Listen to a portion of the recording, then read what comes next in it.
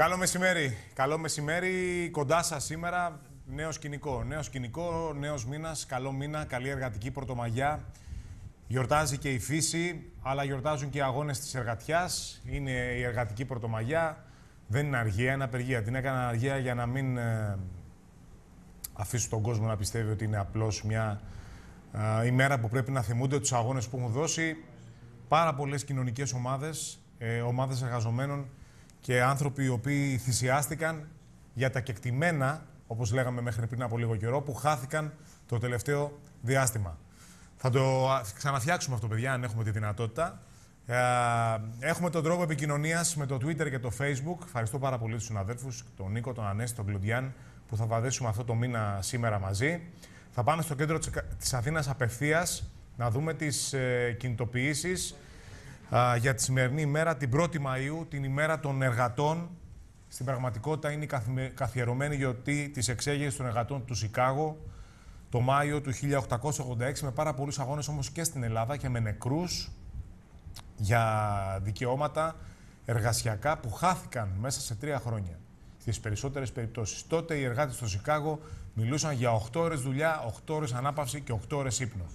Ποιος θα περίμενε ότι αυτό θα ήταν τόσο επίκαιρο σήμερα το 2013, που η εργασία είναι ζητούμενο, ε, είναι δικαίωμα αλλά δεν είναι αυτονόητο, όταν έχουμε 60% ανεργία στους νέους κάτω από 25 ετών και όταν έχουμε 30% ανεργία στο καταγεγραμμένη στο σύνολο. Και άκουγα τον κύριο Μπόλη σήμερα, τον εργατολόγο από το Ινστιτούτο Εργασίας της ΓΕΣΕ, που έλεγε ότι θα έχουμε μία άνοδο, όταν θα έρθει κάποια στιγμή, θα έχουμε μία έξοδο, μία άνεργη έξοδο. Δηλαδή, και άνοδος να υπάρχει και έξοδος από την κρίση, αυτό θα είναι με χιλιάδες ανθρώπους να μην έχουν έστω μία θέση εργασίας. Η 1η του Μάη είναι μέρα ορόσημο λοιπόν για τους αγώνες του εργάτη. Αιματοβεωμένες εξεργίες των εργατών στο Σικάγο στις αρχές του Μάη του 1886. Είχαμε επιτυχημένες διεκδικήσεις των εργατών στον Καναδά το 1872. Νωρίτερα το 1884 πάρθηκε στο συνέδριο της Αμερικανικής Ομοσπονδίας ε, Εργασίας η απόφαση να γίνουν την 1η Μάη του 1886 απεργιακές κινητοποιήσεις και διαδηλώσεις στο Σικάγο, το μεγαλύτερο τότε βιομηχανικό κέντρο των ΗΠΑ. Θα μπορούμε, μπορούμε να βλέπουμε κάποιες εικόνες από το κλιπ που έχουμε για να δείτε και εικόνες από γκραβούρες εκείνης της εποχής ή φωτογραφίες εκείνης της εποχής και την 1η Μαΐου του 1886 400.000 άνθρωποι συμμετείχαν σε απεργίες που γινόταν σε όλη τη χώρα και πάνω από 80.000 στο Σικάγο. Αυτό το Σάββατο του 1886, μια εργάσιμη μέρα, οι εργάτες ξεκίνησαν με τις γυναίκες και τα παιδιά τους για να διαδηλώσουν ειρηνικά στο χώρο της συγκέντρωσης στην πλατεία High Market. Στην γύρω περιοχή είχαν παραταχθεί αστυνομικές δυνάμεις αποτελούμενες από 1.350 άτομα, οπλισμένα με οπλοπολιβόλα, οι οποίοι περίμεναν το σύνθημα για να δράσουν. Και ενώ το πλήθος παρακολουθούσε τις ομιλίες, ο επικεφαλής της αστυνομικής δύναμης διέταξε να διαλυθεί η συγκέντρωση. Ε, μια βόμβα έσκασε κοντά στους αστυνομικούς, οι οποίοι άρχισαν να πυροβολούν και να χτυπούν τους συγκεντρωμένους χωρίς καμία διάκριση, με άγνωστο αριθμό θυμάτων. Αφού πολλοί τραυματισμένοι κατέληξαν τις επόμενες μέρες, επίσημα μόνο 8 νεκροί αστυνομικοί και τέσσερις διαδηλωτές έχουν επαληθευτεί. Α, θα έχετε δει αυτό το γνωστό σκίτσο ενός αναρχικού που πετάει μια βόμβα. Α, εμφανίστηκε μετά από αυτό το συμβάν, έτσι, για να έχετε και μια εικόνα για την ιστορία των κινημάτων. Θα, με την πρώτη ευκαιρία θα πάμε τώρα στο κέντρο της Αθήνας με τα συνδικάτα. Βλέπουμε και ένα πάρα πολύ ωραίο γράφτη το οποίο από σήμερα θα στροφεύει την εκπομπή. Η ειρήνη και καρδιά με κάποιον πολιτικό να προσπαθεί να δει την καρδιά αν χτυπάει. Ε, αυτό θα προσπαθήσουμε να είναι έτσι το, το σκηνικό της εκπομπής το εξής. Θα πάμε στον Σωτήρη Σκουλούδη και στον Πέτρο Σιδερέα που κάνουν το ρεπορτάζ και είναι στην πλατεία Συντάγματος και στην πλατεία Κλαθμόνος.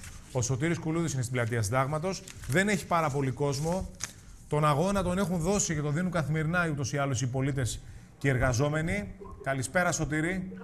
Καλησπέρα, για από την πλατεία Συντάγματος.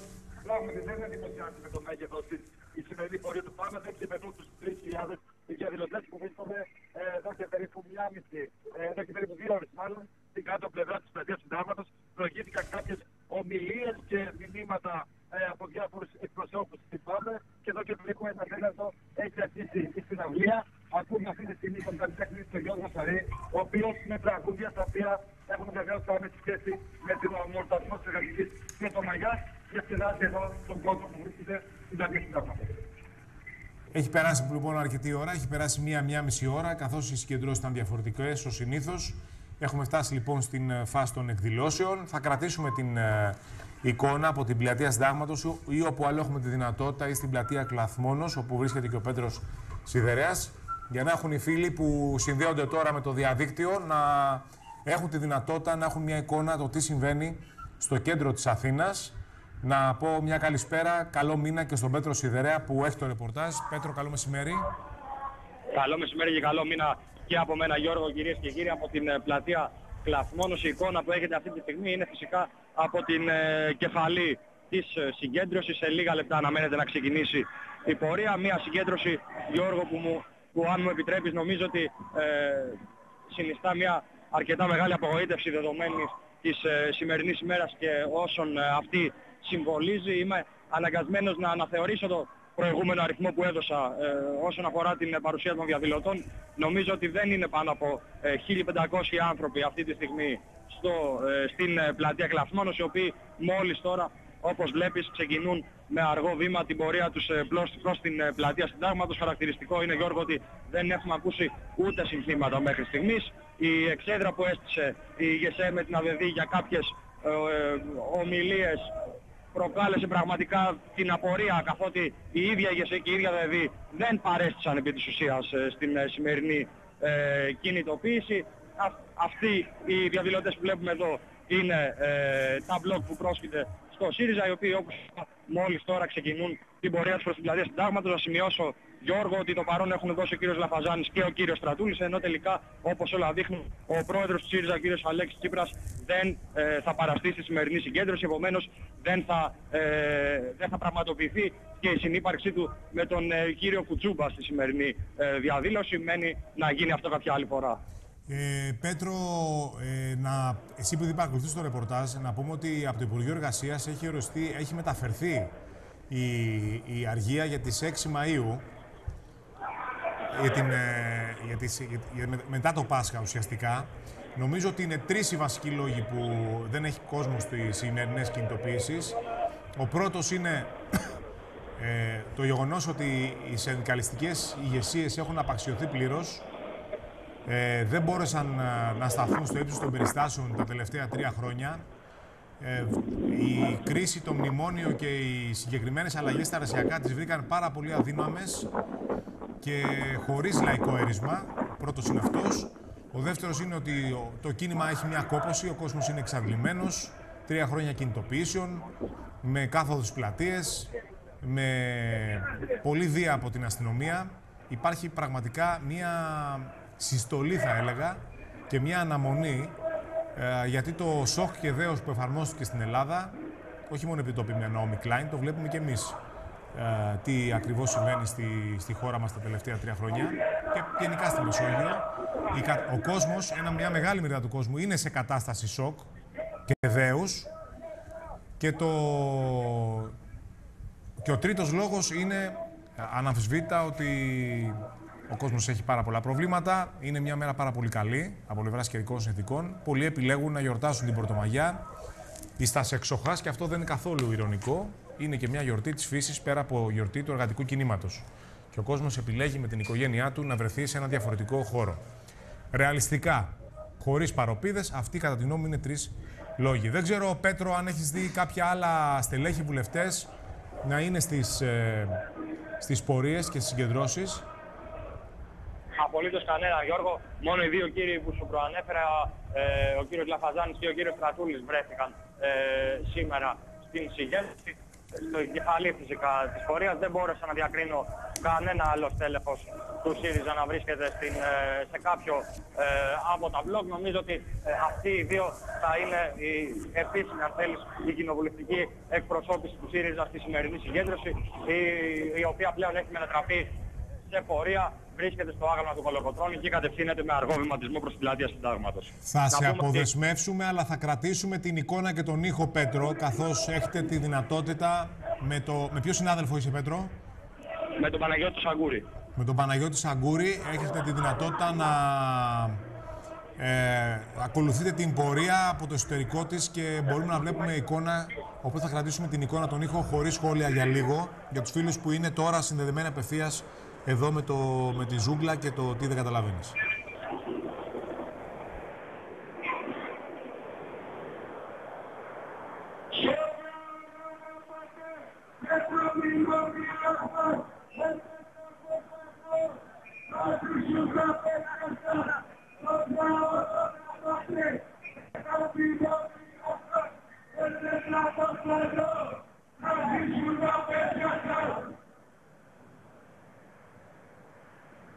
Αυτά στην πλατεία Κλαθμόνος, στο άγαλμα του Κολοκοτρό έχουν φτάσει μάλλον για την ακρίβεια τώρα οι συγκεντρωμένοι.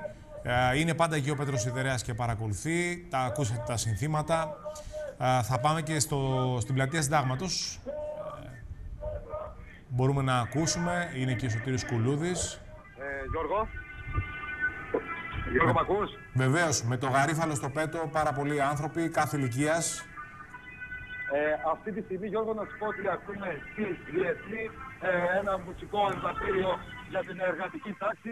Χαρακτηριστική εικόνα μας με πολλά από τα Μπορείς, Σωτήρη, αν μπορείς, Σωτήρη, να μιλάς λίγο πιο δυνατά, γιατί δεν σε ακούμε. Ναι, ναι, ναι. Ναι, αυτό που σου έλεγα Γιώργο είναι ότι μόλις ακούσαμε τη Διεθνή, ένα μουσικό εμβατήριο που αναφέρεται βεβαίως στην εργατική τάξη ε, πολλά από τα μέλη του ΠΑΜΕ, που το είδες και από την εικόνα μας, είχαν υψωμένη την αριστερή κλωτιά τους στον ουρανό, συμβολική κίνηση ε, τιμής για τη σημερινή μέρα, ενώ προ λίγου είχαμε και ενός λεπτούς στη γη για τους νεκρούς θύματα της εργατικής τάξης.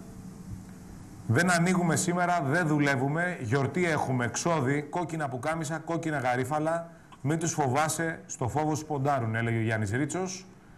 Και όλα αυτά είναι επίκαιρα ανεξαρτήτως του αριθμού των συγκεντρωμένων σε μια πάρα πολύ δύσκολη συγκυρία, ε, με την ε, εργατική τάξη να συρρυκνώνεται, να μην μπορεί εξαφανίζεται, ε, τεράστια ποσοστά ανεργίας σε κλάδους που στήριζαν αυτό το μοντέλο ανάπτυξης που είχε ακολουθήσει η ελληνική οικονομία.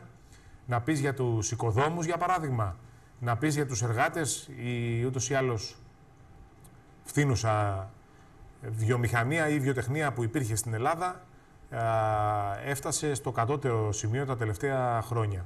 Να αφήσουμε λίγο τον ήχο να δούμε με την μοιράζουν γαρίφαλα εκεί από το Πάμε.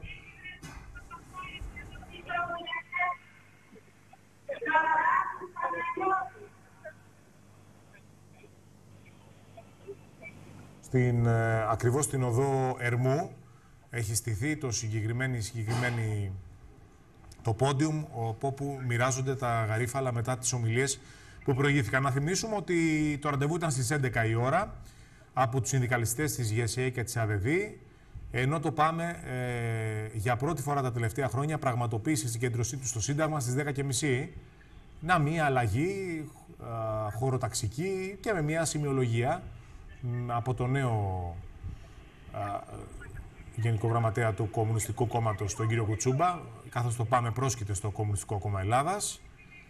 Τα συνδικάτα, να θυμίσουμε, ζητούν την αποτελεσματική αντιμετώπιση του προβλήματος ενεργείας, την υπογραφή συλλογικών συμβάσεων, την αποκατάσταση του εργασιακού θεσμικού πλαισίου που κατήργησαν τα μνημόνια, ζητούν τον τερματισμό της λιτότητας και την επιβολή και της επιβολής νέων φόρων, καθώς και τη λήψη μέτρων για την καταπολέμηση της μαύρης και ανασφάλιστης εργασίας. Πράγματα δηλαδή που βλέπουμε καθημερινά και επαναλαμβάνω μπορεί τα τελευταία 25 χρόνια ε, κάποιες συνδικαλιστικές ηγεσίες να φρόντισαν με τη στάση τους, με τη διαδρομή τους και με την κατάληξή τους να δημιουργήσουν μια αμφισβήτηση του κόσμου και μια απαξίωση του εργατικού κινήματος. Αυτό όμως δεν αφορά ούτε τους εργαζόμενους, ούτε τα αιτήματά τους που είναι πραγματικά πιο επίκαιρα από ποτέ. Ακούσατε σήμερα, δεν είναι μια ε, αντίληψη που υπάρχει μόνο στην Ελλάδα.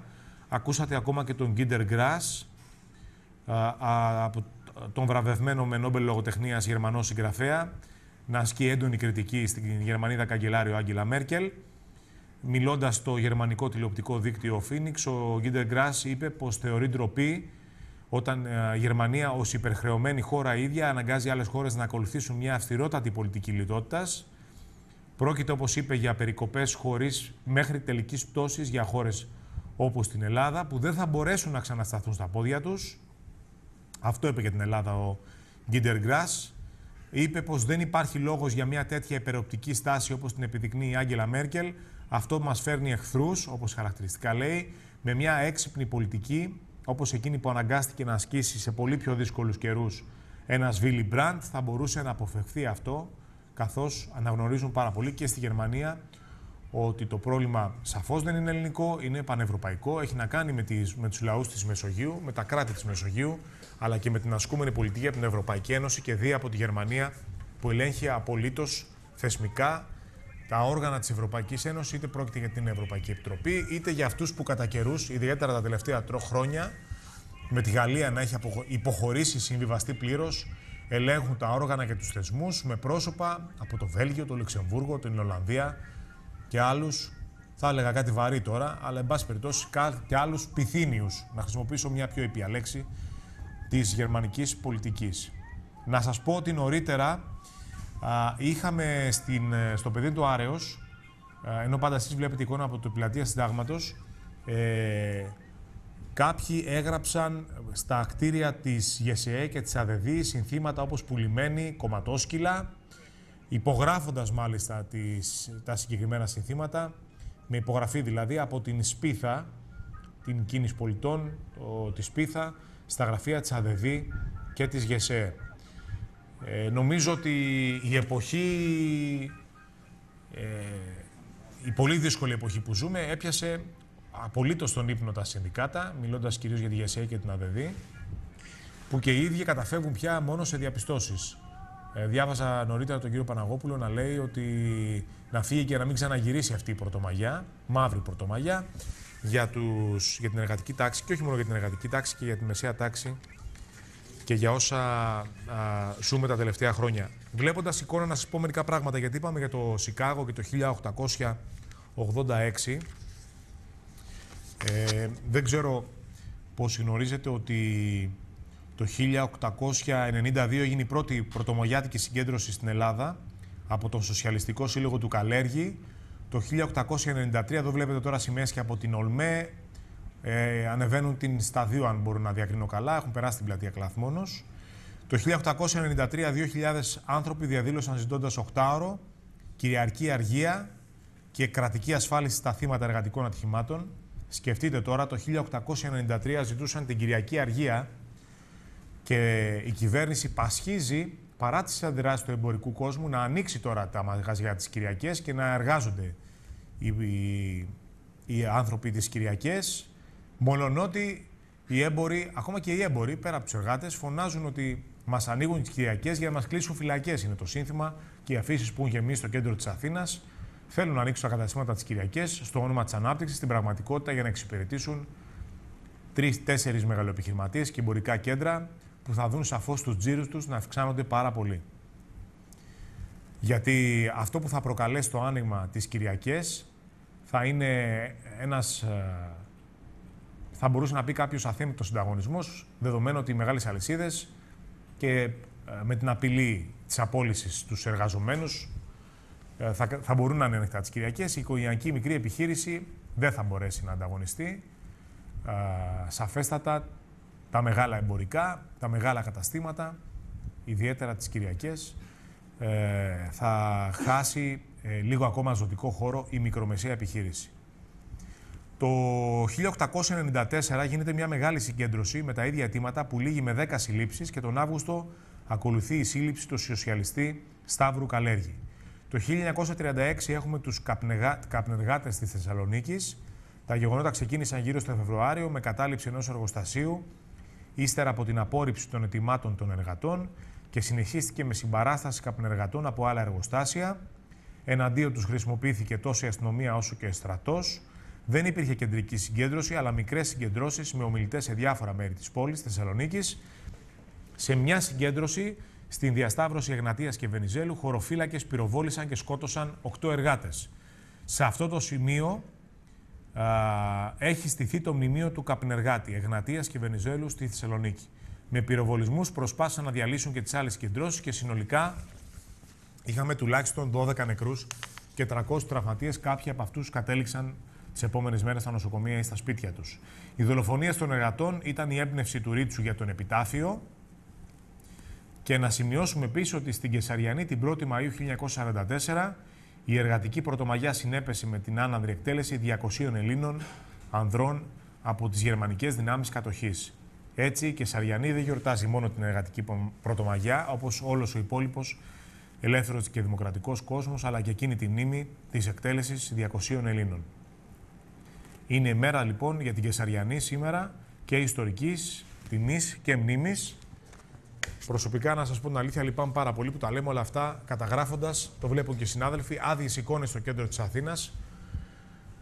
Αλλά, επαναλαμβάνω, κατά την προσωπική μου άποψη, ο ελληνικός λαός είναι σε κατάσταση σοκ και δέους τα τελευταία τρία χρόνια. Κατέβηκαν οι Έλληνες, δεν περίμεναν την Πρωτομαγιά για να κατέβουν.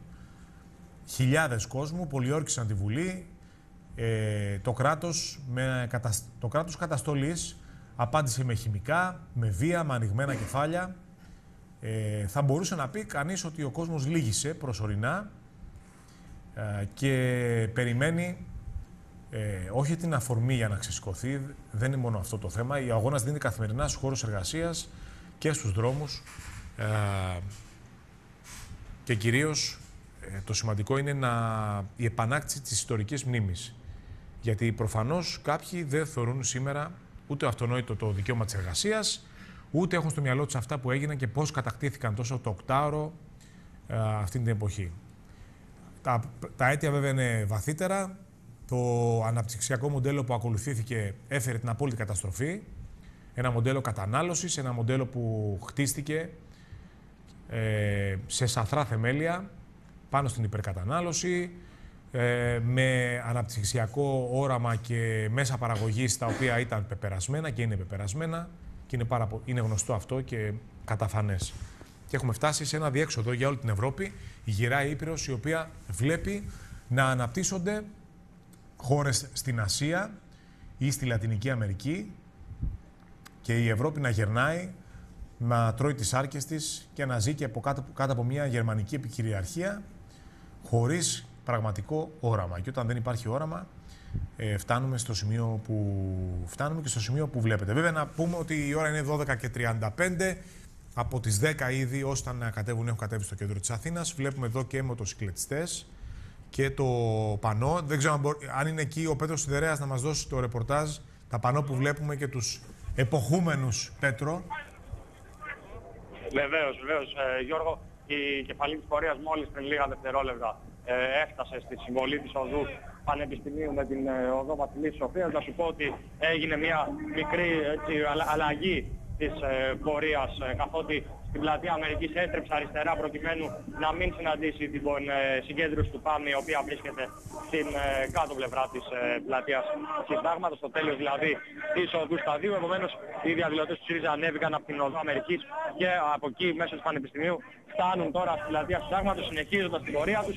Η κεφαλή βρίσκεται λίγο πριν ουσιαστικά το μνημείο του αγνώστου Μαξόντου 1500 με 2.000 διαδηλωτές. Ακούτε και τα συστήματα τα οποία φωνάζουν.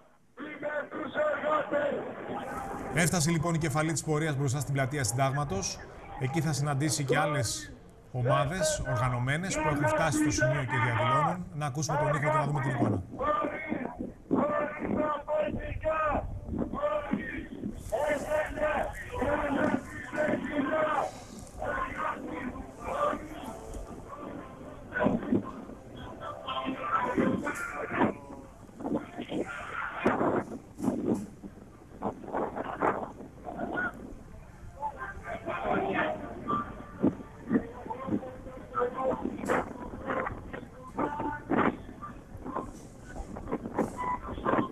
Μπορεί να περάσει, περνάει ο ήχος από το κινητό του Πέτρου.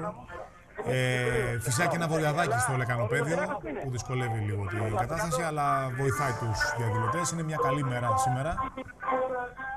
Και ακούμε και ωραία ρεμπέτικα, λαϊκά τραγούδια, συνυφασμένα με την εργατική τάξη.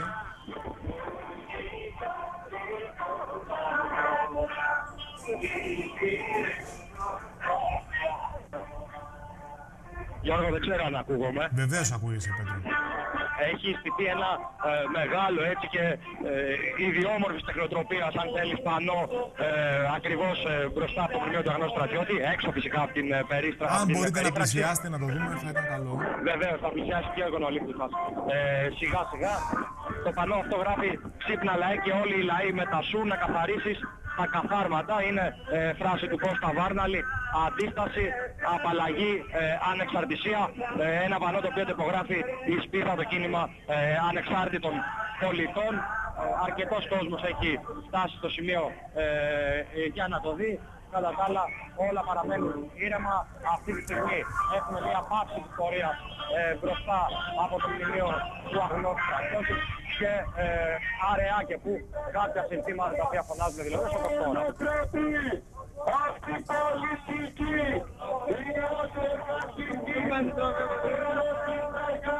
Οι κλούβες περιμένουν βέβαια. Εκεί είδατε μπροστά από τη,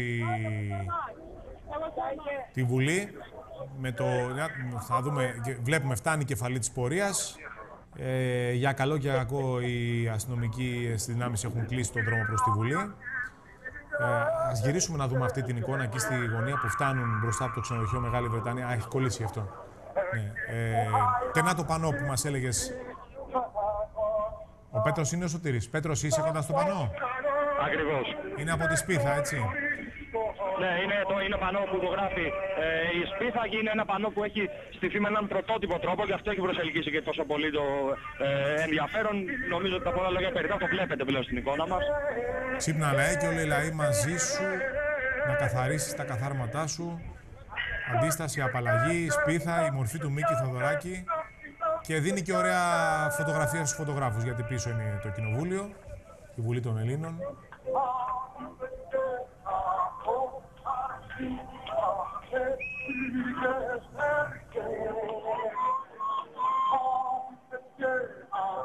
Στη δυνατότητα να μιλήσουμε με κάποιο από τα στελέχη της Πίθας, να τους ρωτήσουμε και για τα συνθήματα που έγραψαν, στο, που υπέγραψαν α, στο, στο κτίριο της Γεσία και της Αβεβή. Βλέπουμε αυτό το πανό, ξύνα λαέ, οι λαοί με τα σου να καθαρίσει τα καθαρματά σου, του Κώστα Βάρναλη, στίχη του Κώστα Βάρναλη.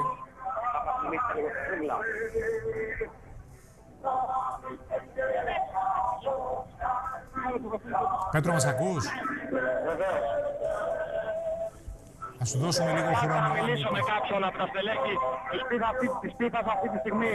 Ε, δεν θέλουν ε, να μιλήσουν, εντάξει, σεβαστή. Σεβαστό είναι αυτό. Απόλυτα σεβαστό.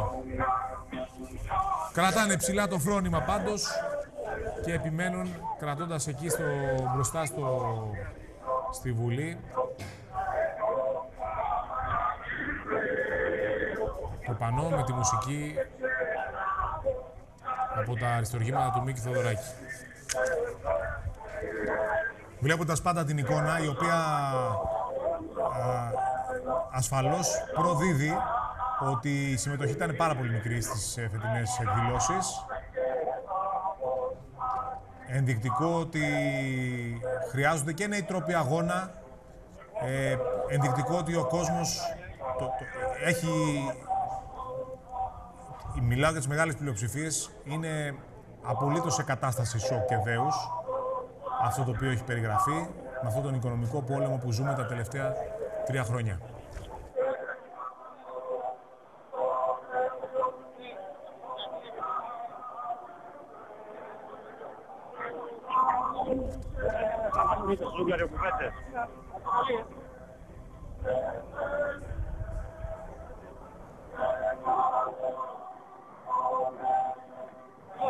Λοιπόν, είναι μεσημέρι μεγάλης Τετάρτης, Πρωτομαγιά, εργατική Πρωτομαγιά. Είναι μία παρά 20 για εσάς που έχετε ανοίξει τώρα το, τον υπολογιστή σας στο zoogla.gr.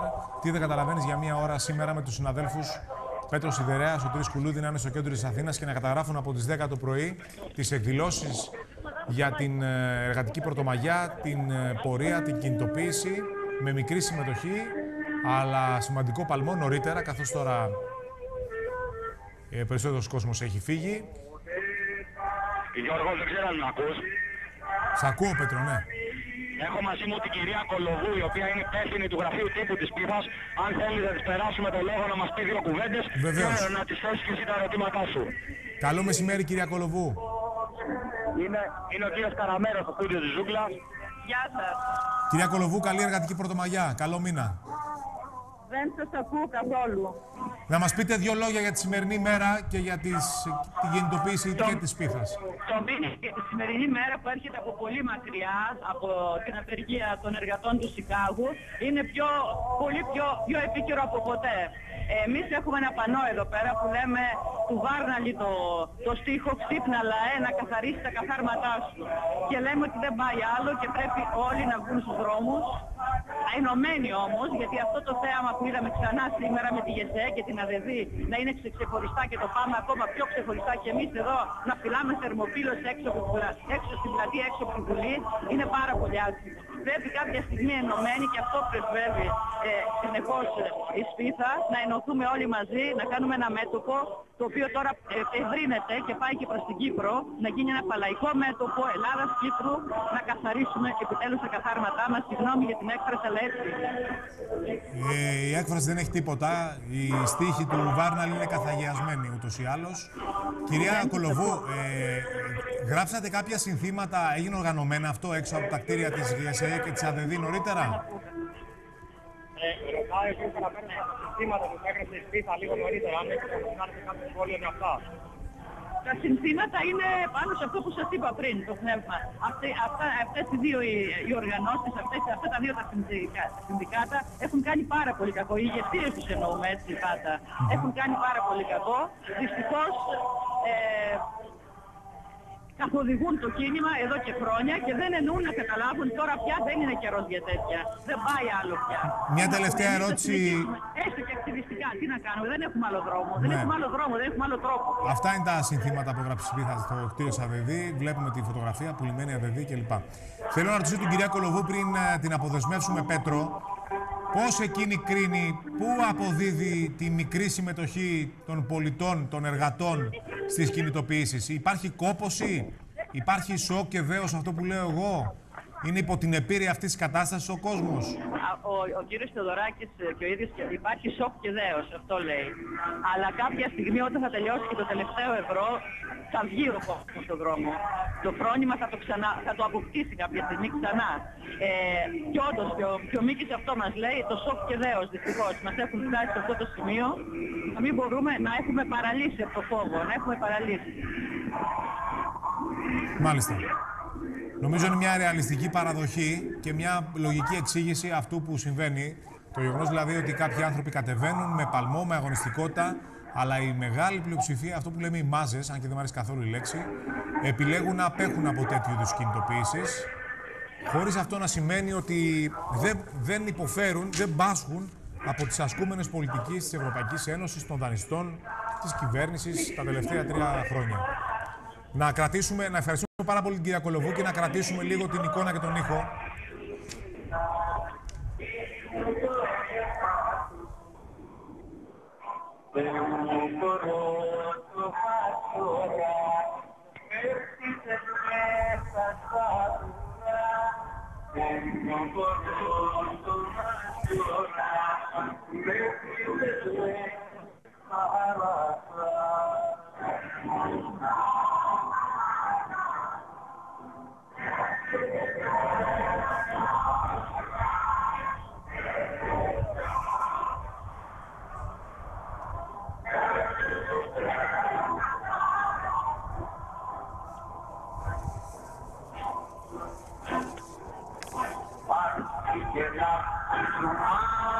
Μάλιστα, βλέπουμε λοιπόν την εικόνα από την πλατεία Συντάγματος. Θα ήθελα τώρα, αν υπάρχει δυνατότητα, να δούμε ένα βίντεο. Γιατί κάνουμε συχνά αναφορά στο Σικάγο και την Πρωτομαγιά. Να δούμε ένα βίντεο. Ευχαριστούμε πάρα πολύ τους ανθρώπους από το μπλοκ Κονσερβοκούτη. ε, Ένα μπλοκ που έχει να κάνει με, το, με την κομμουνιστική αριστερά. Που έχουν καταγράψει ε, σε ένα βίντεο την ιστορία της εργατικής πρωτομαγιάς. Καλό είναι να τα βλέπουμε, να τα θυμόμαστε αυτά.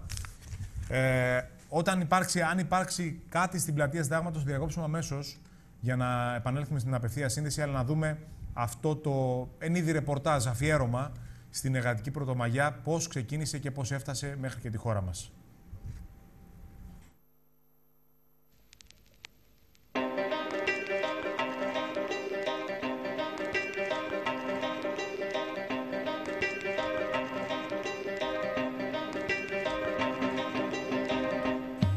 Στις 20 Ιουλίου 1889, το Ιδρυτικό Συνέδριο της Δεύτερης Διεθνούς πήρε την εξής απόφαση. Θα οργανωθεί μια μεγάλη διεθνής εκδήλωση για μια καθορισμένη ημερομηνία με τέτοιο τρόπο ώστε οι εργάτες σε όλες τις χώρες και σε όλες τις πόλεις να απευθυνθούν ταυτόχρονα μια συγκεκριμένη ημέρα προς τις δημόσιες αρχές. Ένα αίτημα για να καθοριστεί η εργάσιμη μέρα σε 8 ώρες και να τεθούν σε ισχύ οι άλλες αποφάσεις του Διεθνούς Συνεδρίου του Παρισιού. Εν ώψη του ότι μια τέτοια εκδήλωση έχει ήδη αποφασιστεί από την Αμερικάνικη Ομοσπονδία Εργασίας στο συνέδριό της το Δεκέμβρη του 1888 στο Σεν Λούις για την 1η του Μάη του 1890, η μέρα αυτή γίνεται δεκτή σαν ημέρα για τη διεθνή εκδήλωση. Οι εργάτες των διαφόρων χωρών θα πρέπει να οργανώσουν την εκδήλωση με τρόπο ανάλογο προς τις συνθήκες της χώρας τους.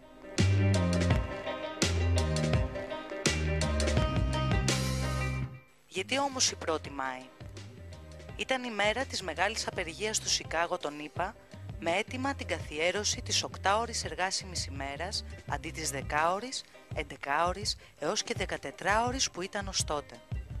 Απεργία η οποία συνεχίστηκε και τις επόμενες μέρες και που βάφτηκε στο αίμα των εργατών από το χτύπημα της αστυνομίας με εντολή των καπιταλιστών, ενώ οι ηγέτες, προτεργάτες των τότε εργατικών κινητοποιήσεων για το οκτάωρο καταδικάστηκαν σε θάνατο και εκτελέστηκαν.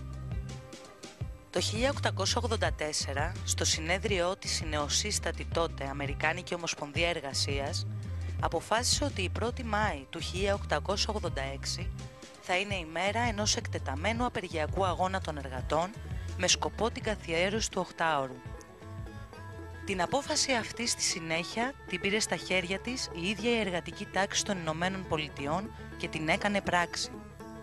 Όσο δε πλησίαζε η εν λόγω ημερομηνία, τόσο περισσότερο ζούσαν οι Αμερικανοί εργάτες στον πυρετό της μάχης.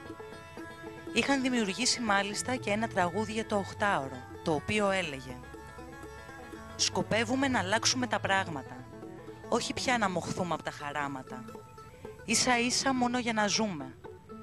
Να μην έχουμε ποτέ μια ώρα για να σκεφτούμε. Θέλουμε να νιώσουμε τον ήλιο. Θέλουμε να μυρίσουμε τα άνθη. Είμαστε σίγουροι πως είναι θέλημα Θεού και τα αποφασίσαμε να έχουμε οχτάωρο. Καλούμε τις δυνάμεις από ναυπηγεία και εργοστάσια. Οχτώ ώρες για εργασία. Οχτώ ώρες για ανάπαυση και οχτώ ώρες για ό,τι θέλουμε.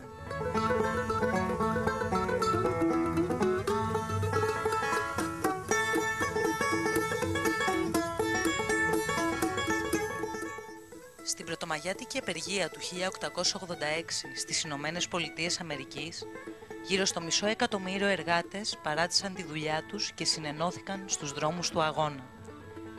Σημαντικές απεργίες και διαδηλώσεις έγιναν στις περισσότερες από τις μεγάλες πόλεις, αλλά και στις μικρές πόλεις και κομοπόλεις. Επίκεντρο όμως του αγώνα αναδείχθηκε το Σικάγο, με 90.000 διαδηλωτές στους δρόμους, ήταν τόσο μεγάλη και τόσο επιβλητική η κινητοποίηση της εργατικής τάξης του Σικάγου που οι καπιταλιστές θεώρησαν πως έπρεπε να επιβληθούν δυναμικά. Έτσι πραγματοποίησαν ένα από τα πιο επέσχυτα εγκλήματά τους σε βάρος των εργατών. Στις 3 Μαΐ η αστυνομία πυροβόλησε εμψυχρό εναντίον εργατών που διαδήλωναν, κατά των απεργοσπαστών, έξω από το εργοστάσιο θεριστικών μηχανών McCormick. Το αποτέλεσμα ήταν να δολοφονηθούν εμψυχρό τέσσερις διαδηλωτές και να τραυματιστούν αρκετοί. Την επόμενη, 4 Μάη, η εργατική τάξη του Σικάγου πραγματοποίησε διαδήλωση διαμαρτυρίας στο Haymarket, όπου κάποιος προβοκάτορας έριξε βόμβα, σκοτώνοντας έναν και τραυματίζονταν πάνω από 70 αστυνομικούς. Οι υπόλοιποι αστυνομικοί ανασυγκροτήθηκαν και άρχισαν να πυροβολούν εναντίον του πλήθους, προκαλώντας πλήθος τραυματιών και τουλάχιστον ένα νεκρό. Τις επόμενες μέρες πέθαναν άλλοι έξι τραυματίες αστυνομικοί, αλλά ο θάνατός τους ήταν συνέπεια τραυματισμών που υπέστησαν από τους αδιάκριτους πυροβολισμούς των συναδέλφων τους. Η πρωτομαγιάτικη απεργία του 1886 είχε ως αποτέλεσμα 185.000 εργάτες να κερδίσουν το 8ωρο και τουλάχιστον 200.000 εργάτες να μειώσουν το χρόνο εργασίας τους από τις 12 στις 10 και 9 ώρες. Σε πολλές επίσης περιοχές κερδίθηκε η μιαργία του Σαββάτου, ενώ αρκετές βιομηχανίες σταμάτησαν την Κυριακάτικη εργασία.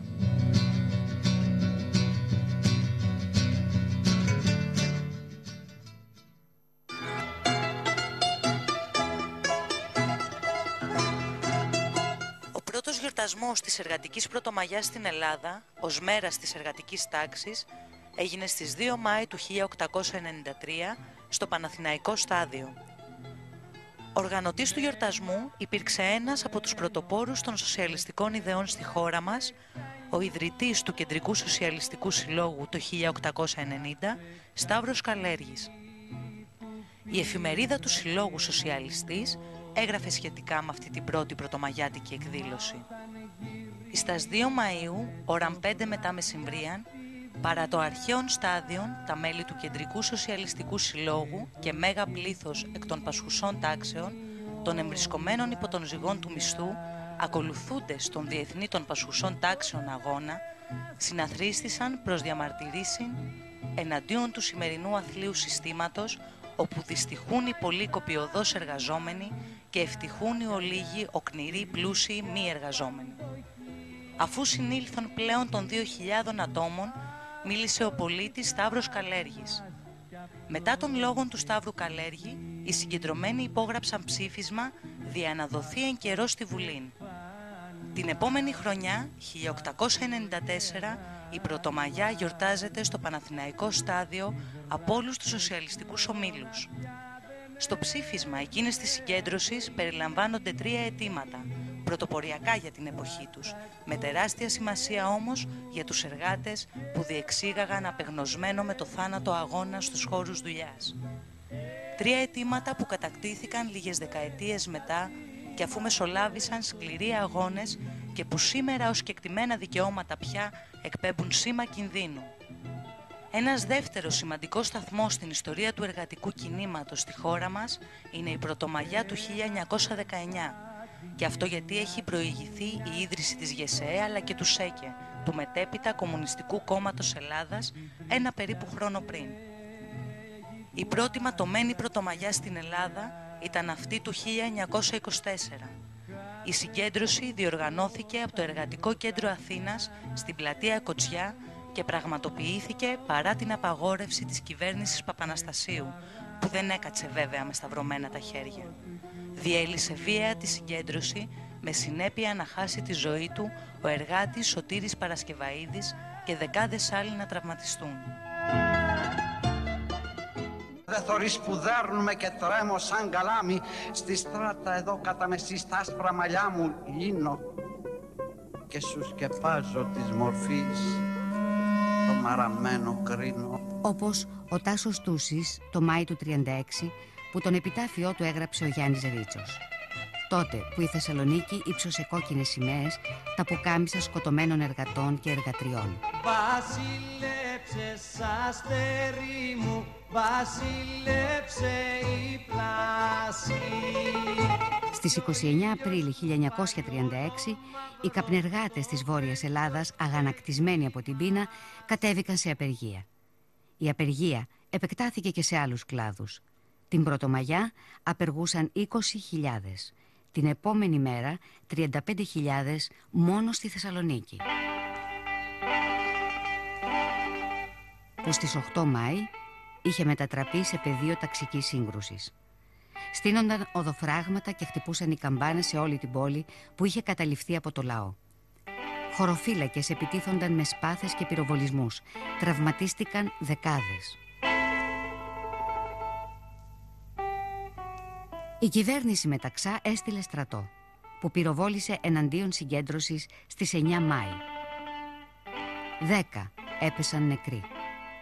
Οι εργοδότες ικανοποίησαν όλα τα αιτήματα της απεργίας.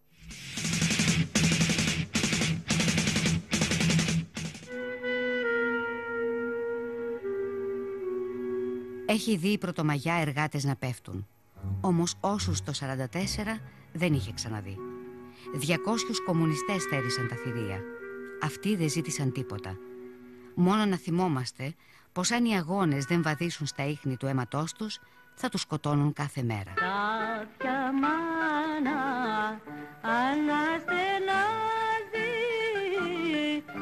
Πάνω τους βάδισε το ταξικό. Λοιπόν, ε, ένα απόσπασμα από την πολύ καλή δουλειά που έχουν κάνει οι συνάδελφοι εκεί στο Conservocooty blog του, για την γατική πρωτομαγιά, τι έγινε στο Σικάγο, α, τι έγινε όμως και στην Ελλάδα μέχρι και το 1944.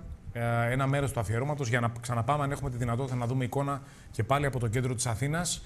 Ε, είναι προς το, προς το τέλος τους οι συγκεντρώσεις.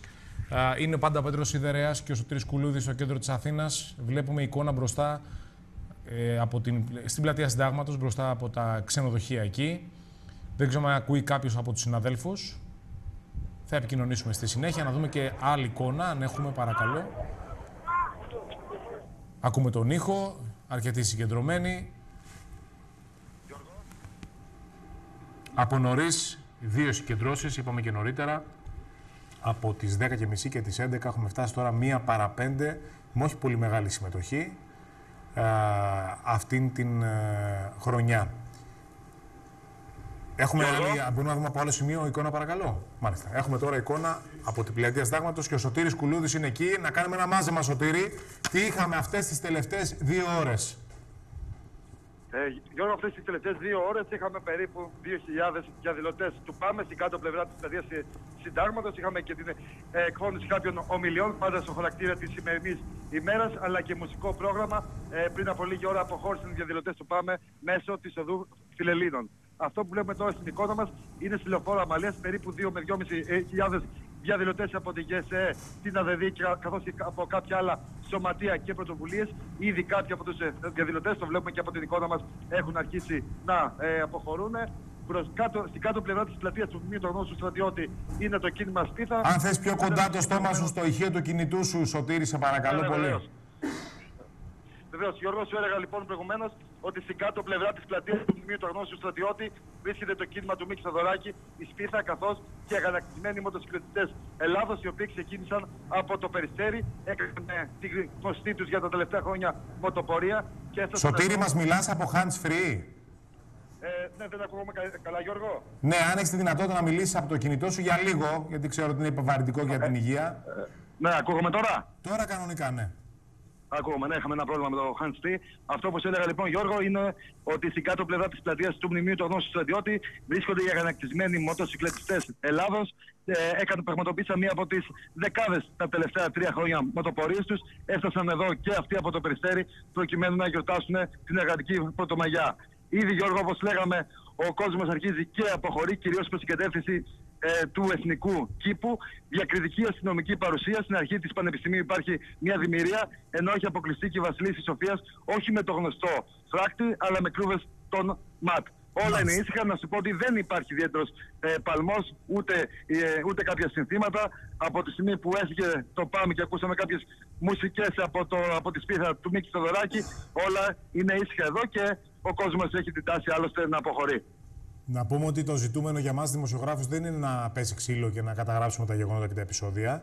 Απλά δείχνουμε να δείχνουμε το μπαλμό, ακούμε α, τα αιτήματα, τα συνθήματα και όπως είδατε και προηγουμένως, και λέω για τους φίλους ε, Σωτήρη που είναι συνδεδεμένοι εδώ με, την, ε, με το Web TV της Ζούγκλας, ε, είδαμε και έτσι μια αναδρομή, ένα αφιέρωμα στο πώς ξεκίνησε, γιατί γιορτάζουμε και πώς γιορτάζουμε την εργατική πρωτομαγιά. Να ευχαριστώ πάρα πολύ τον Σωτούρη Σκουλούδη. Να πούμε ότι σήμερα ε, γιορτάζει και η φύση, πολύ χαρακτηριστικά. Ο κόσμος βγαίνει να πιάσει το Μάη, όπως λέμε, να φτιάξει στεφάνια, να τιμήσει τον ερχομό της Άνοιξης. Συμπίπτει να είναι μεγάλη εβδομάδα βέβαια. Ε, η, το φετινό Πάσχα πέφτει τώρα, είναι Μεγάλη Τετάρτη σήμερα. Α, Θα επιχειρήσουμε τώρα να βγούμε λιγάκι εκτός αστικών κέντρων, να τιμήσουμε τη φύση, γιατί μιλούσαμε για τα προβλήματα που υπάρχουν στα αστικά κέντρα, ε, με πολύ μεγάλο πρόβλημα για όσους ασχολούνται με την παροχή υπηρεσιών, γιατί αυτό είναι το βασικό πρόβλημα το οποίο έφερε και την κρίση. Θα πάμε σε μια περιοχή με ένα λίγο διαφορετικό μοντέλο ανάπτυξης που νομίζω ότι είναι και το ιδεατό, ιδεώδες για την ε, Ελλάδα. Ε, μια περιοχή όπου δίνει πολύ μεγάλη βάση στον πρωτογενή τομέα, δίνει πολύ μεγάλη βάση στην αγροτική παραγωγή και στον τουρισμό, αλλά με ήπιο τρόπο στον τουρισμό, χωρίς ακρότητες όπως, ε, και χωρίς υπερβολές όπως ο- είχαμε τη βιομηχανία του τουρισμού σε όλη την Ελλάδα τα τελευταία χρόνια. Θα πάμε στην Άξο, που είναι ένας τόπος με, που έχει βγάλει και πάρα πολλούς αγωνιστές. Από εκεί είναι ο Μανώλης ο Γλέζος και όχι μόνο, από την Απίρανθο, η Νάξος, που έχει πνεύματα αγωνιστικά, αλλά και ανθρώπους δουλευταράδες και πολύ καλή κτηνοτροφία, αγροτική παραγωγή και τουρισμό. Γι' αυτό επιλέξαμε να μιλήσουμε με έναν αξιώτη, ένα πολύ δραστηριό άνθρωπο, τον κύριο Δημήτρη Καπούνη, που ρο- που είναι και πρόεδρος της Ένωσης Αγροτικών Συνεταιρισμών της Νάξου. Καλό μεσημέρι, καλή πρωτομαγιά κύριε Καπούνη. Καλό μεσημέρι, καλό μήνα Γιώργο. Φίλε Ευχαριστώ Δημήτρη, πολύ. για να μην κρυβόμαστε Γιώργο. τώρα, έτσι. Είμαστε φίλοι με τον Δημήτρη τον Καπούνη και ήθελα να βγούμε λιγάκι μακριά από την Αθήνα και τη Θεσσαλονίκη και να μιλήσουμε λίγο με την ε, Νάξο και τον φίλο μας τον Δημήτρη τον Καπούνη. Δημήτρη, πώς έχει μπει η σεζόν, όπως λέμε, στην ε, Νάξο, η οποία την ώρα που οι άλλοι το έριχναν στην παροχή υπηρεσιών, κράτησε την αγροτική της παραγωγή, κράτησε την κτηνοτροφία της και αντιμετωπίζει την κρίση, ναι, δύσκολα μεν, αλλά πιο υποφερτά από άλλες περιοχές. Εμείς, ε, Γιώργο, όπως ξέρεις, ε, η Ένωση Αγροτικών Συνεταιρισμών Ανάξων είναι βιώσιμη. Κρατάει τον πρωτογενή τομέα στην οτροφία Γεωργία, εδώ στην Άξο. Εδώ να πούμε ότι το 60% της Νάξου, των κατοίκων της Νάξου ασχολούνται, έχουν και κάτι, ας πούμε, είτε, είτε με τη Γεωργία να ασχοληθούν, είτε με τη κτηνοτροφία. Και πιστεύω ότι περνάμε, την περνάμε αυτή την κρίση, αυτή την, α- αυτό το θέμα που υπάρχει γενικά στην Ελλάδα. Είμαστε μια χαρά προς το παρόν. Όσον αφορά τον τουρισμό, περιμένουμε κόσμο. Πιστεύω ότι η Νάξο είναι προσιτή και φτηνή, φτηνός προορισμός και καλός προορισμός και πιστεύω ότι θα έχουμε πολύ τουρισμό φέτος. Να, Αυτή είναι η να θέση θυμίσουμε ότι για την και τα αγροτική και, μηνύματα. και την κτηνοτροφική παραγωγή, πέρα από την πατάτα που είναι ξακουστή στα πέρατα του κόσμου, την πατάτα της Νάξου, εσύ έχετε και το τυρί, τη γραβιέρα της Νάξου, έχετε και το γάλα, Έχουμε και τα αρνιά και τα κατσίκια, τα οποία αυτή τη στιγμή ε, φτάνουν σε, σε μεγάλες αλυσίδες και στην καταγορά της, ε, μάλλον σε μεγάλες αλυσίδες της ε, Αθήνας και το καταναλωτικό κοινό. Θυμάμαι, Ε, ήδη Δημήτρη έχουμε- Καπούνη, στα παιδικά μου χρόνια και στο Γαλάτσι αλλά και στο κέντρο της Αθήνας οι ναξιώτες να έρχονται και να πουλάνε επιτόπου απνοερήφια. Βέβαια έχουν αλλάξει εποχές πολύ τώρα. Ήδη τώρα έχει αλλάξει. Ναι. Υπάρχουν ε, κανόνες ασφαλείας και βρίσκονται σε μεγάλα μάρκετ. Ήδη έχουν φύγει από την άξο πάνω από 5.000 αρνόρυφα και βρίσκονται στην Αθήνα για να φτάσουν στον τελικό προορισμό. στην Ε, τι, καταναλωτή. τι τιμή δώσανε οι κτηνοτρόφοι, Δημήτρη; Εμείς δώσαμε από...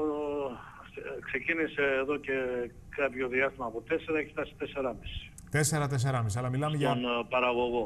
Πολύ καλής Δηλαδή- ποιότητας αρνοερήφιο. α, Νησιώτικο, Βεβαίως. έτσι. Είναι ναι, σε, σε περίπου βιολογικό γιατί είναι ελευθέρας βοσκής, δεν υπάρχουν ζωοτροφές εδώ, τρέφονται από τη χλωρίδα πανίδα της Νάξου.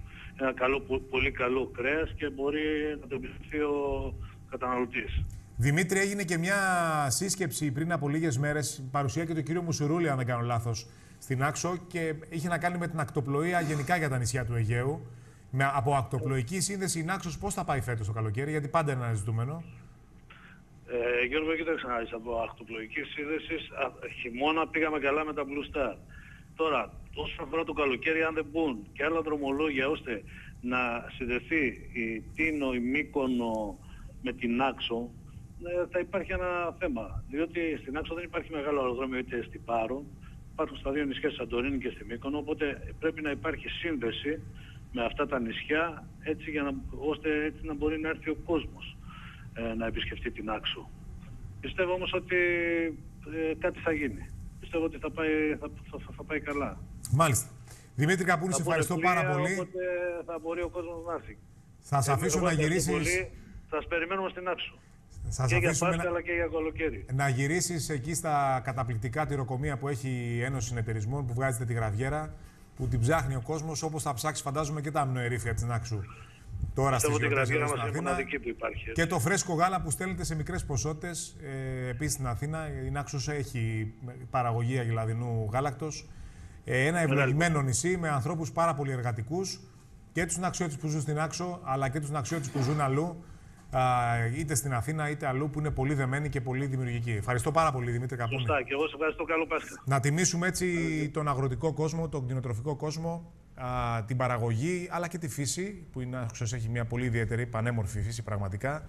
Ένα νησί με καταπληκτικές παραλίες, αλλά και με πολύ ενδιαφέροντες ορεινούς όγκους, παράδοση πολιτισμό, παραγωγή. Αυτό είναι το αναπτυξιακό μοντέλο που θα πρέπει να ακολουθήσει η Ελλάδα.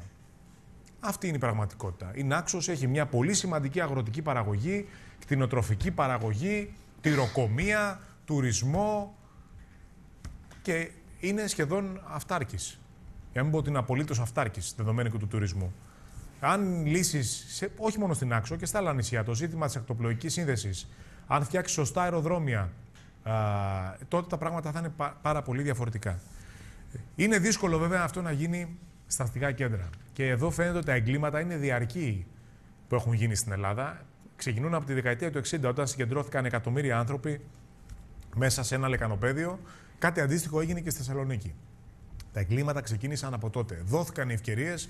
Ακούσαμε στη δεκαετία του 80 για αποκέντρωση. Μετά ήρθε το ευρώ, ήρθε η ανάπτυξη και τώρα βρισκόμαστε πάλι στο σημείο 0. Λοιπόν, να προχωρήσουμε. Ευχαριστούμε πάρα πολύ τους Ναξιώτε και τον Δημήτρη τον Καπούνη. Πήραμε έτσι λίγο ανάσα και αέρα Αιγαίου. Να καλωσορίσουμε τον Γιώργος Σπανουδάκη, να πάμε στην αθλητική ενημέρωση. Ενώ βλέπετε πάντα τον τρόπο επικοινωνίας μέσω Twitter και Facebook. Καλώς τον Γιώργο. Μεγάλο μάτς χθες, θέλω να σου πω, το είδα. Έχασε πολύ μεγάλη ευκαιρία η Ρεάλ. Ναι, και πάρα πολλές ευκαιρίες, ειδικά στο πρώτο ημίχρονο. Ε, το παιχνίδι ήταν.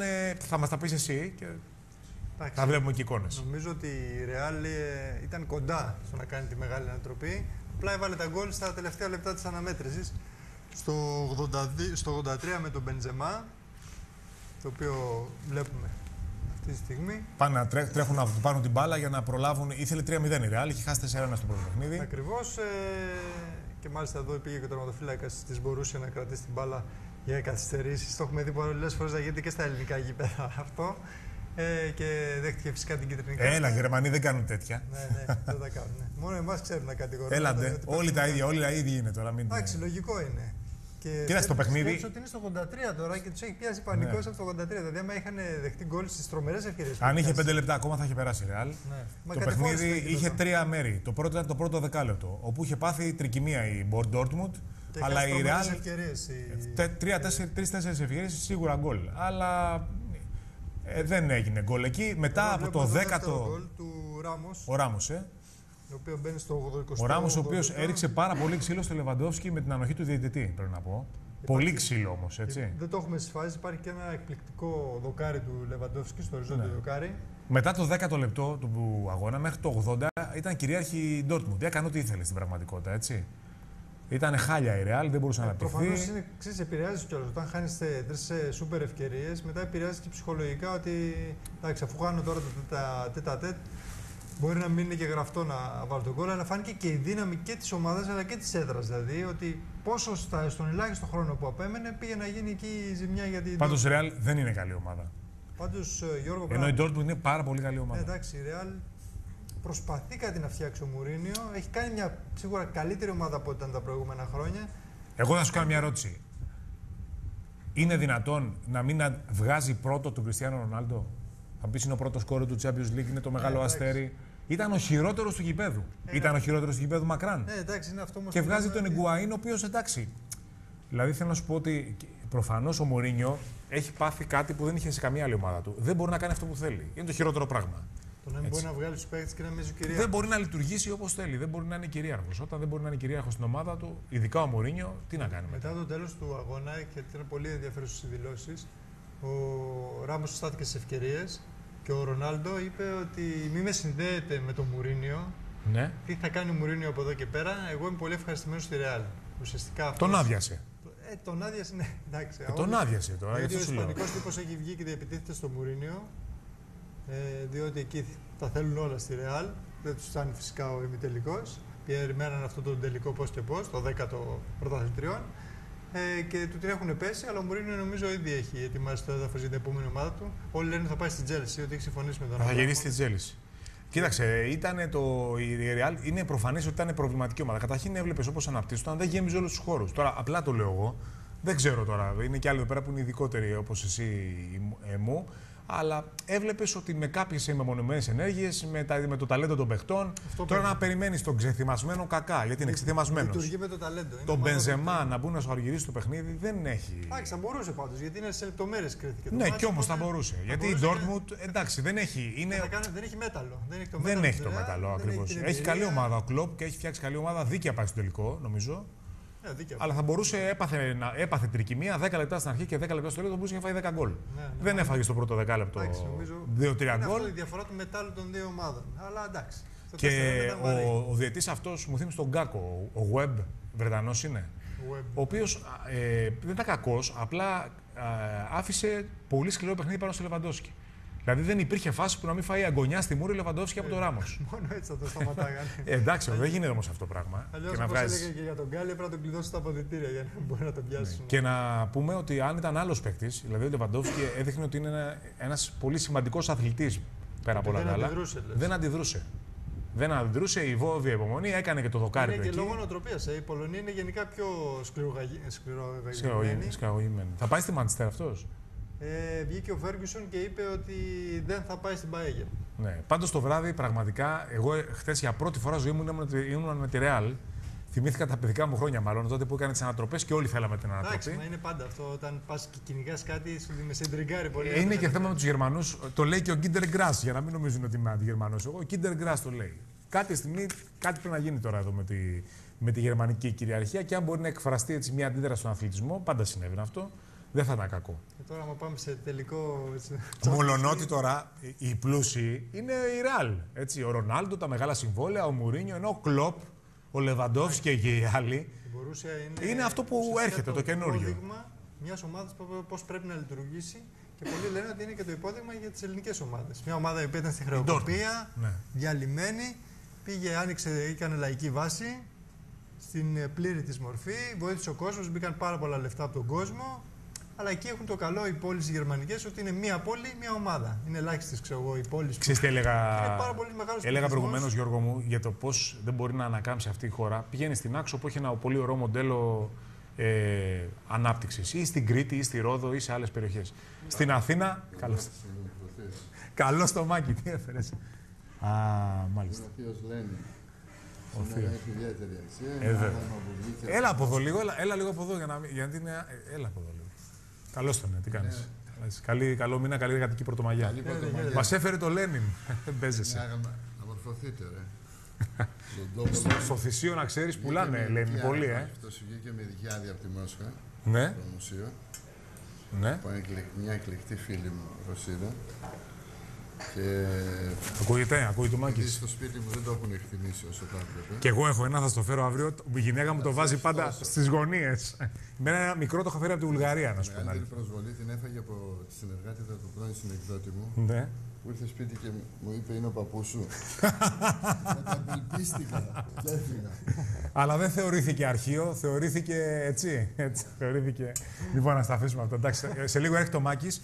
Ε, απόψε όμως, Μπαρτσελώνα Μπάγεν με τον Λένιν. Αχ, και εσύ, Ιωσήφ. Κάτι ξεκίνησε το 17, αλλά... Λοιπόν, ε, Μπαρσελόνα, εγώ είμαι Bayern. τροτσκιστής, Μάκη, να ξέρεις, ε. Λοιπόν, Μπαρτσελώνα Μπάγεν. Μακάρι να το κάνει το βράδυ. Ε, εντάξει, όλοι αυτό πάει. Μακάρι να το Σαν τριγκάρει πάρα πολύ η ανατροπή. 2-0 στο ημίχρονο και βλέπουμε. Ψυχραιμία. αυτό που Αποδείχθηκε είπε η χθες Βιλανόβα. ότι θέλει ψυχραιμία. Θέλει υπομονή. Ε, γιατί είναι το πρώτο, το πρώτο γκολ. Ε, Άμα πει το βέβαια. πρώτο γκολ, βαραίνει πολύ. Εντάξει, είναι διαφορετικό πάντως. Η, η Real χθες πήγαινε για τρίποντο, καταλαβες. Είναι διαφορετικό μπορούσε Bayern. Είναι Εντάξει. πιο βαριά φανελά της Bayern. Δεν, Και είναι και πιο καλή ομάδα η Μπαρσελόνα μα από τη Real. και είναι και πιο καλή ομάδα η Bayern, Bayern από από την την Dortmund. Borussia. Εντάξει, είναι δύσκολο. Είναι δύσκολο. Είναι πολύ δύσκολο, αλλά θεωρώ ότι και εκεί θα έχουμε γήπεδο που να γέρνει. Και μην ξεχνάς ότι έχουμε και ένα παίχτη εκεί, έχει η Μπαρσελόνα ένα παίχτη, ο οποίος μπορεί να ανατρέψει τα πάντα μέσα σε 2-3 λεπτά. Δεν είναι Κριστιανό Ρονάλντο.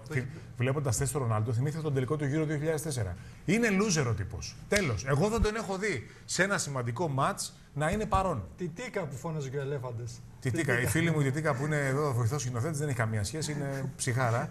αλλά είναι τη Τίκα. Ε, Δεν είναι τη Τίκα. Εντάξει. Είναι τη Τίκα, ρε φίλε. Ο Κλαίει, Χριστιανό. Μαλλί γυαλί, γυαλί, γυαλί όχι, αλλά Έχει μαλλί πει ο- ζελέ και. Ο Μίλλερ της Bayern είπε ότι περιμένουμε άλλο Μέση. Περιμένουμε. Άλλο Μέση. Εσύ σύντροφε, τι λες; θα τα πεις στο μάξι σε λίγο, Λένιν. Λοιπόν, ευχαριστούμε πάρα πολύ τον κύριο Σπανοδάκη. Ευχαριστώ και εγώ. Ε, να σας αποχαιρετήσουμε. Ε, προλαβαίνουμε Κλοντιάν. Μια που είπαμε τώρα για συντρόφους και λοιπά, προλαβαίνει και Κλοντιάν. Ευχαριστούμε, Γιώργο, να κάνουμε μια αλλαγή σκητάλης, γιατί έχουμε πάντα κόντρα. στη- Δεν το έχουμε; Για Βενεζουέλα θα πει αύριο ο Κλοντιάν Κιουζέλη, γιατί είχαμε επεισόδια εκεί στο Κοινοβούλιο της Βενεζουέλας. Καλή εργατική πρωτομαγιά, καλό μήνα, καλή ανάσταση. Θα τα πούμε και αύριο ούτως ή άλλω. Σήμερα μην ξεχνάτε αυτό που έλεγαν τότε.